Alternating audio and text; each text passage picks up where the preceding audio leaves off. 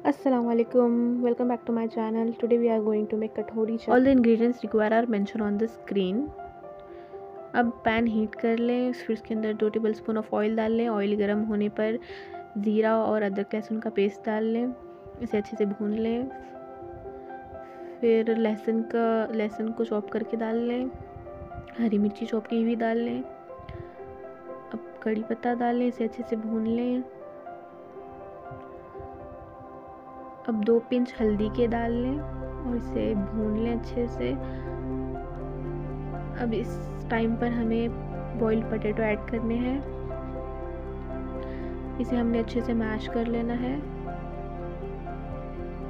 Mash करने के बाद इसमें रेड चिली पाउडर और सॉल्ट डालना है और इसे अच्छे से मिक्स कर लेना है और हमारी पटेटो फिलिंग रेडी हो चुकी है। इसमें साइड में कर लें और अब हम कटोरी कैसे बनाएँगे, कटोरी चाट की कटोरी कैसे बनाएँगे, ये देखना है। ना now let's see how to make katori of katori chaat ये बैटर मैंने पहले ही नीट कर लिया था और अब हम इस कटोरी पे, आप कौन सी भी शेप की कटोरी ले सकते हैं, इस कटोरी पे हमने ऑयल लगा लिया है और ये डो को हमने कटोरी के ऊपर से फोल्ड कर लेना है और एक्सेस पार्ट जो है वो निकाल लेना है और इसे फोक से साइड्स पर फोक की हेल्प से इसमें होल कर लेना है। अब हमने कढ़ाई में ऑयल डाल के इसको हीटअप कर लेना है। फिर जो ये हमने कटोरी बनाए थे, इसे हॉट ऑयल में अच्छे से तल लेना है गोल्डन ब्राउन होने तक।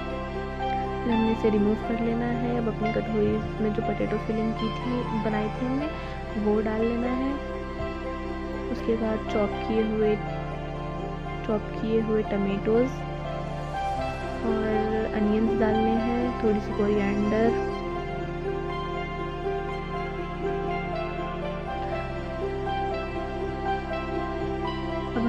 पे ग्रीन चटनी डालनी है one two two tablespoon in each अब हमने इसमें इमली की चटनी डालनी है two tablespoon in each katori, और as per your taste now we can add in this curd